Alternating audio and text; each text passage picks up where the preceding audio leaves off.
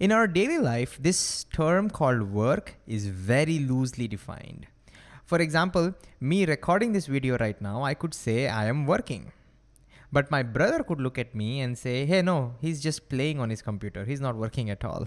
See what I mean? Loosely defined, hard to agree whether somebody's working or not. But in physics, we want precise definitions. So in this video, we'll see how do we define work in physics. So according to physics, work done on an object equals the force on an object multiplied by the displacement of that object. So this immediately means that if you want to do work, then one, you need to push on it, push or pull on it because you need to provide a force. And while pushing or pulling on it, you have to make it move. That's the condition to do work in physics, okay? So you have to push on an object because if you don't push or pull, the force will be zero, work will be zero. And while pushing, you have to make it move because if you don't make it move, there will be no displacement and again, work will be zero. So let's quickly look at some examples to make more sense of this. Imagine somebody is pushing a grocery cart on grass apparently. Do you think that person is doing work on that cart? Well, let's see. Since she's pushing on that cart, she's putting a force on it. And notice, while pushing it, she is making that cart move. And so she's putting a force and she's displacing the cart. Therefore, she's doing work on that cart. On the other hand, what if there's a person who's trying to push on a wall? Do you think he's doing work? Well, let's see. Again, since he's pushing on that wall, he's putting a force on it. But that wall, it's not moving anywhere. The wall is just staying there. So he's not making that wall move. So he's putting a force, but he's not making it move. So he does not do any work over here. Now he might say, hey, no, I got so tired by pushing that wall for three hours. It doesn't matter, he didn't make it move, he didn't displace it, and therefore no work was being done. All right, let's take another one. Let's go to outer space where there is no gravity, no friction, so that we can keep things simple. Imagine we have an astronaut with a ball in his hand. Say he throws that ball. Do you think he did work? Think about this for a while. All right, let's look at it. When the astronaut throws the ball, he's clearly pushing on that ball, right? To make that throw. And while he's pushing on that ball, notice he is displacing that ball. He's making it move while pushing. And therefore, he, did, he put force and he did displacement, and therefore he did work on that ball. But what happens once the ball gets thrown? Do you think now he's doing work on that ball? Think about this. What do you think? Well, if I get that back, once that ball is released, notice he's no longer pushing it. So yeah, he's the ball is moving, the ball is moving, the ball is being displaced, but now nobody is pushing on it, right? And so now no longer work is being done on that ball because there is no force acting on that ball. Remember, we have to push it and while pushing, make it move. So the astronaut only did work when that ball was in his hand. The moment the ball started moving away from his hand, no longer work is being done by that astronaut. So this is fun, right? Let's do more examples. This time imagine a man who's just holding a barbell like this and just standing there. Do you think he's doing work? Well, let's see. Is he putting a force on that barbell? Yes, he is. He must be pushing up on it, right? Otherwise, due to its own weight, the barbell would have fallen down. So he's balancing the weight of that barbell by pushing up on it. So he's putting a force on it.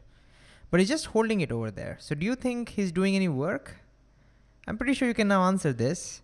No, he's not doing any work because he's not making that barbell move.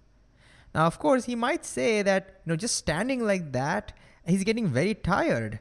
He starts sweating profusely and he's getting super tired. But just because you're getting tired doesn't mean you're doing work in physics, and that's important, okay? So yeah, he's not doing any work because he's not displacing that barbell. On the other hand, now imagine if he starts moving that barbell up, hmm, now he did work because now he pushed it and while pushing, he displaced it. Okay, one last example. Now let's say we take that same barbell and we just drop it. Now do you think there was work being done on that barbell when it was falling down? Think about this. All right. At first, we might say, no, there's nobody pushing on it. So clearly nobody's doing work. But remember, to do work, you just need a force. People don't have to push on it. Any force will do. And you might know there is force of gravity pulling down on it. And that's why it's falling in the first place, right? So gravity is pulling down on it. And as it's being pulled down, notice it is displaced. It's falling, so it's moving. And therefore, work was done on that barbell. It was not done by people in this example, but it was done by gravity. Any force can do work as long as it can displace that object. It doesn't have to be living things. Okay, now that we know when work is being done in physics, let's go ahead and calculate work for a particular example. So let's say this lady pushes the grocery cart with a force of 30 newtons and displaces it by 2 meters. S is the letter that we use for displacement. What is the work that she does on that grocery cart? Can you try and answer this question? Okay, work done is force times the displacement, right? So in our case, the work done will equal to force, which is 30 newtons times the displacement, which is 2 meters. So that gives us 30 times 2 is 60. And now let's look at the units of this. The units become Newton into meter. So the units of work done becomes Newton meters. Now, because work is something that we'll be using in physics over and over again, we decided not to write Newton meter over and over again. So we gave Newton meter a name we call Newton meter a joule uh, given by capital J. So capital J stands for a joule. It's named after a scientist. And so the unit of work done is also joules. So over here we can say she did 60 joules of work on that shopping cart. Now before we wrap up, one question you might have is what is the meaning of Newton meter? What does it say? Or why do we even define work as force into displacement? Where does it all come from? Well, we can only answer this in the future videos once we start um, introducing energy and we start connecting work and energy and, and then it'll all start to make sense, okay? But as of now, in this video, what did we learn? We learned that in physics, work is force times displacement, which means that to do work, you need to push on something or pull on it. And while pushing or pulling, you have to make it move. Okay.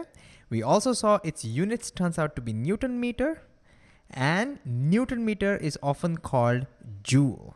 So Newton meter or joule is the standard unit of work.